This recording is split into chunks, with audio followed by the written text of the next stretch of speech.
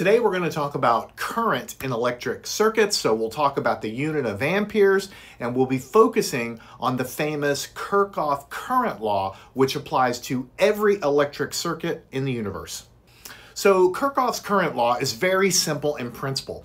All it basically says is that at any node or any uh, connection point intersection of different circuit branches in a circuit, like this would be a node right here at this connection point, the algebraic sum of all of the currents entering the node and leaving the node has to add up to zero. Now, when you use Kirchhoff's current law, uh, basically the current going into the node, you uh, choose an algebraic sign for that, and the current leaving the node, you choose the opposite sign. So there's a current convention involved, but it basically means that the current entering the node must be equal to all of the current exiting the node.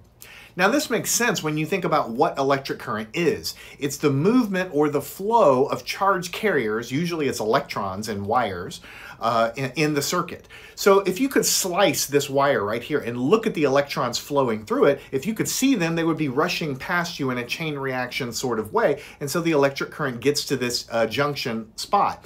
And when that happens, part of the current goes this way and part of the current goes this way. But when they come back out to the other side over here and join back up at this node here, they recombine. So it's really very, very similar to a garden hose with water splitting. And that's because electrons are made of matter, and so the conservation of matter always applies, and so you can't really create or destroy it, you have to account for it. So all of the current entering a junction point must be equal to the addition or the summation of the current leaving the other side.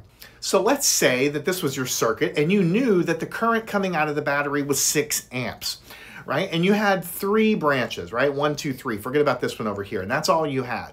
So you may not know what I1 and I2 and I3 actually are flowing through each of these branches because you're not sure what the resistances are. But Kirchhoff's law tells you that no matter what, if you add up I1 plus I2 and plus I3 in terms of their, their amps, their current, whatever you get must equal the total current that was flowing in because you have to have conservation of mass. And this applies to any node in any circuit, no matter what is going on, even crazy situations. Let's say you have a node here, there's a voltage source with some current flowing through it, resistor with some current, there's some light bulb or something with some current and something else going on there. When you add all of these currents up, keeping in track their signs, they must add up to zero because of conservation of mass. Learn anything at mathandscience.com.